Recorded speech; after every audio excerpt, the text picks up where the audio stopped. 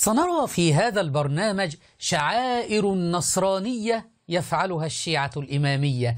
شعائر يهودية يفعلها الشيعة الإمامية. سنرى في هذا البرنامج شعائر بوذية هندوسية يفعلها الشيعة الإمامية.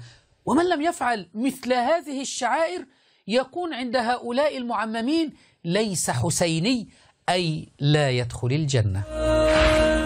الذي لا يؤدي بعض الشعائر الحسينية ليس حسينيا.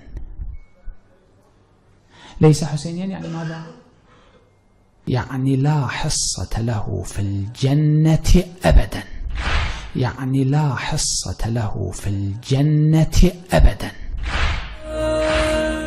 فمن لا يلطم ولا يطبر ولا يتطين ولا يضرب ظهره بالسلاسل ليس حسينيا ولا يدخل الجنة.